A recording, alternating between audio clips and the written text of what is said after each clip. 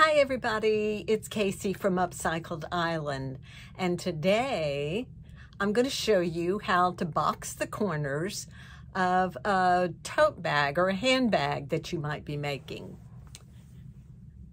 And so here's the bottom of a bag and here's the squared corners and I'm going to show you how to do this. We want our bag to have depth, so we're going to box the corners. And the way we do that is from the side, I go here to the corner, one of the corners that we've sewn, and I'm going to make a little triangle. I'm going to open the seams and I'm going to line up the side seam and the bottom seam.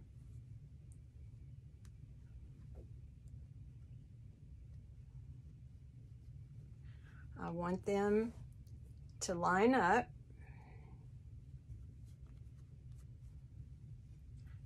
And see, we're making a little triangle here. The way I test to see if the seams are open properly is I take a pin and on this side I stick it where the seam is and it should come out on the seam on the other side. This one's off a little bit so I'm going to adjust until they're lined up and they are. Now I am going to preserve the little triangle I've made by pinning across it.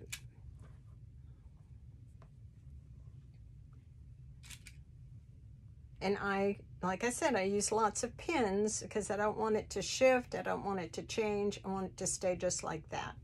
So there's my triangle. Now I'm going to put it on the grid. I want my bag to have a four inch depth. So to get a four inch depth, I'm going to measure two inches from, see where these little where the seam meets at the corner and there's a little V. I'm gonna measure from there, two inches. And I'm gonna use my grid. If you don't have a grid, just use a ruler. And then I'm making sure that's all lined up on that grid line. And then I'm going to mark it across. There's one inch, two inches. And I'm gonna mark across. You can use, I'm using a rather pencil. So I'm gonna stitch on that. It's not gonna show. So there's my line. I'm gonna do that with the other lining corner.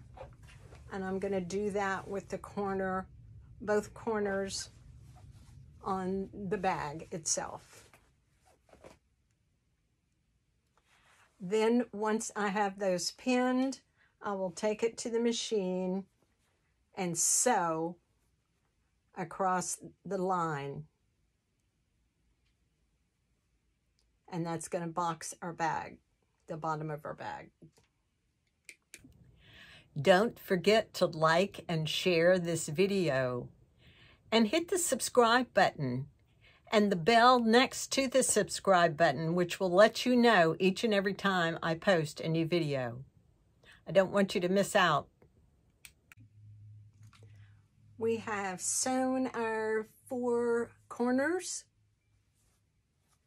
and we have now this excess, excess fabric that we don't need. So we're going to cut it off like a half inch from that seam line we just made. This is the lining one. Here it is. There's the seam line, about a half inch from that. We're just going to cut across. And we're doing that to eliminate bulk. And then we're going to do it on the bag itself.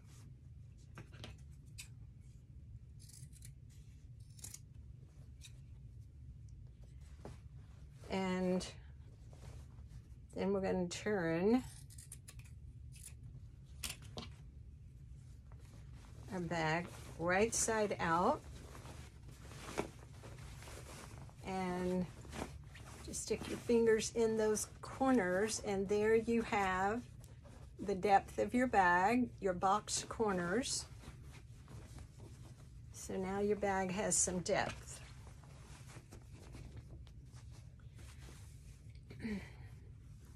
and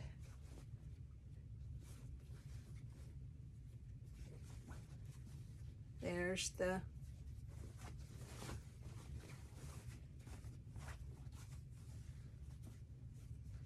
box corners of your lining. I hope you enjoyed this video and that it was helpful for you. Keep boxing those corners. I'll see you next time. Stay safe.